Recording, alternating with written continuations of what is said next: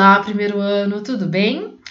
Animados? Então vamos lá, vai começar mais uma aula de português e vocês irão fazer atividade das páginas 221 a 227. Vamos lá. Vocês assistiram o vídeo que a tia Rê mandou no grupo?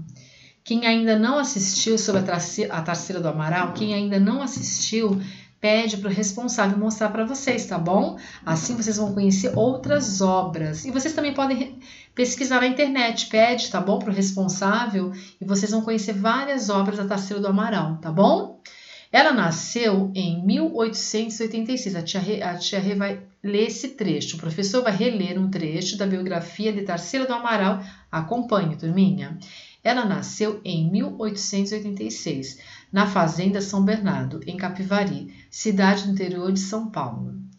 Monte A. Monte com alfabeto móvel, o nome da cidade onde a pintora nasceu. Quem não tiver mais alfabeto móvel, vocês vão pegar um rascunho, um papel e vão treinar, vão colocar o nome, tá bom? Da cidade onde Tarsila nasceu, tá bom? A tia Rê já falou, a gente só aprende a ler e escrever lendo e escrevendo, então tem que treinar, tá bom? Não tem milagre, tem que treinar. Então pega o papelzinho, vai lá no texto, nesse trechinho, procura com a ajuda de um adulto e vão escrever Capivari, certo? Fale alto o nome da cidade prestando atenção. Capivari. Aí, o que, que vocês vão fazer? Fale alto o nome da cidade prestando atenção nas sílabas, depois copie a primeira sílaba. Qual é a primeira sílaba, gente? Capivari. Não é letra, é sílaba. Aí vocês vão colocar, tá bom? Dessa palavra, dessa cidade, Capivari. Agora leia com o professor e adivinhe. É uma casinha branca, sem porta nem janela. Dentro vivem duas princesas, uma branca, outra amarela. Circule a palavra que rima com janela. É uma casinha branca, sem porta nem janela. Dentro vivem duas princesas, uma branca, outra amarela. B. Que palavra da adivinha tem a sílaba K? É uma casinha branca, sem porta nem janela. Dentro vive duas princesas, uma branca, outra amarela. Vão responder, tá bom? Vamos para outra página, número 3. Na Espanha, na escola onde Tarsila estudou, os colegas elogiavam os desenhos dela. Monte com o alfabeto móvel a palavra escola. Então, vocês vão escrever. Quem quiser montar, monta. Quem quiser, só escreve, tá bom? Treina. Letra cursiva, tá bom? Escola. B. Separe as sílabas de escola, colocando cada sílaba em um quadrinho. Escola. Então, vocês vão separar e colocar, escrever nesses espacinhos, tá bom? Tirando a, a, primeira sílaba da escola, que palavra você lê? Escreva essa palavra. Tirando a primeira sílaba de escola, você vai tirar o es. Escreve essa palavra, tá bom? Nesse espaço. Você escreveu o nome de qual desses objetos? Circule. Agora troque, número 5. Agora troque a primeira sílaba da escola por uma das sílabas a seguir e forme o nome de um objeto muito usado nas compras. Vamos para a outra página. Número 6. Os pintores usam cores que nem todo mundo conhece, como estas: terracota, cobre e coral. Esta sílaba A que sílaba, desculpa, que sílaba aparece nos três nomes? Terra, cota, cobre e coral. B. Circule o nome de cor, circule o nome de cor que também tem a sílaba co. Amarelo, caramelo, rosa e branco. Eles vão circular. 7. Qual é o contrário de claro? Decifra o código e descubra. Escreva A. Escreva nos quadrinhos as sílabas da palavra que você formou. B. Leia o nome das imagens e circule o nome de que e circule o nome que tem a segunda sílaba de escuro. Cavalo, copo, curativo. Vamos lá. Texto 2. Pintura. Você já viu uma obra de arte? Conhece algum artista de sua região? Número 2. Tarsila foi uma menina imaginativa.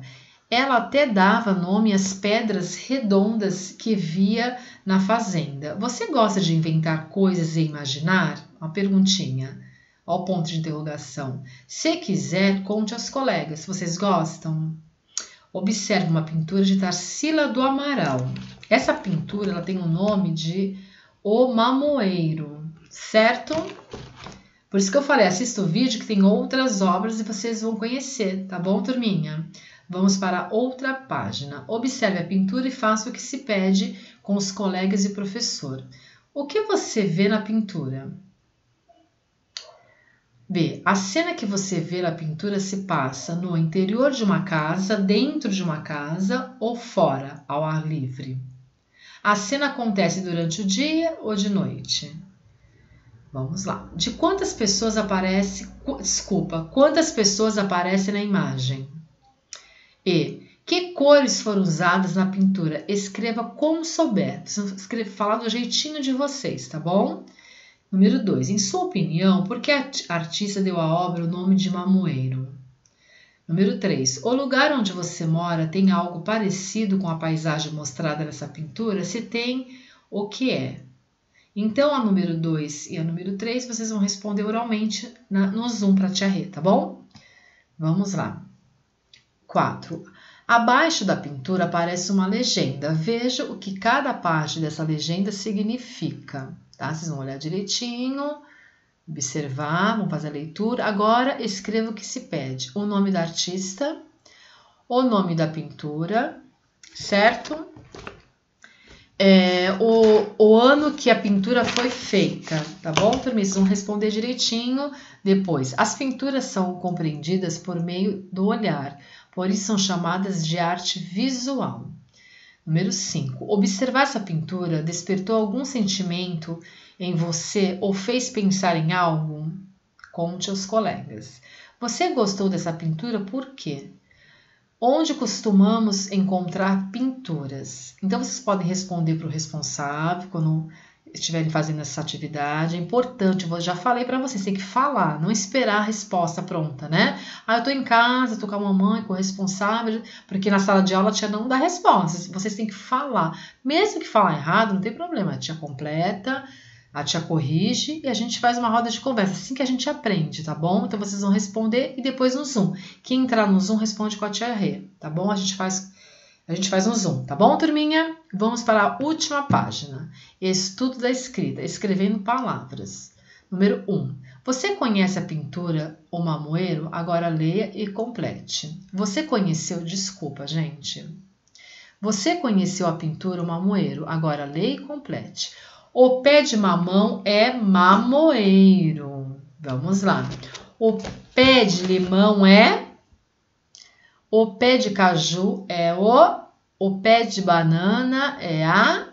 Aí vocês vão colocar, tá bom? Escreva as palavras no diagrama. É, o primeiro curativo, o segundo sacola, o terceiro caju, o quarto copo e o quinto vaca. Aí vocês vão completar direitinho, tá bom?